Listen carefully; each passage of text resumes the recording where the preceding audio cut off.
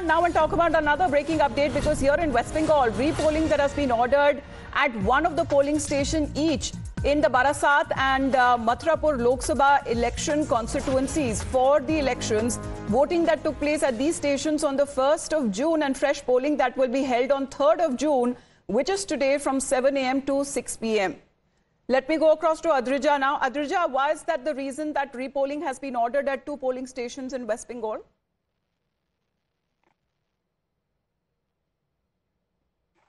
Adrija?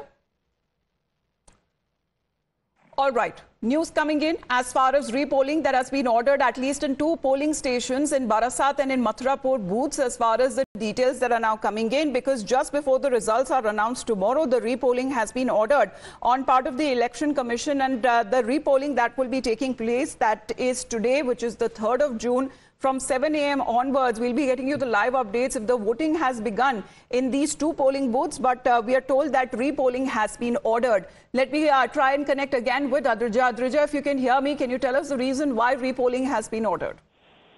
Well, absolutely. You see, the BJP on the day of 1st of June, on uh, last day of election, have written to the election commissioner asking uh, the, asking for repolling in several uh, constituencies, including uh, Diamond Harbour, Bashirhat, as well as Mathurapur.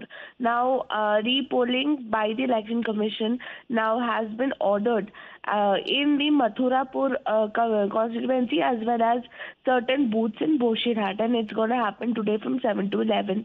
Um, so of course you know uh, after the bjp have brought in allegations and have written that several violences have been taking place in these uh, particular constituencies and the opposition that is the bjp their agents and their workers and leaders are not are uh, being restricted their movements are being res- uh, restricted by the tmc and they are not being allowed to uh, uh, you know send polling agents as well so all of these reasons included now uh, the especially because of the violence that had taken place in certain pockets now the election commission has ordered a repolling in these uh, two constituencies all right adrija thank you very much for the details so repolling that has been ordered the voting that has begun today 7 a.m. to 6 p.m. as far as the repolling in two of the polling stations in west bengal that is taking place today before the election results are announced tomorrow that is the 4th of june. Now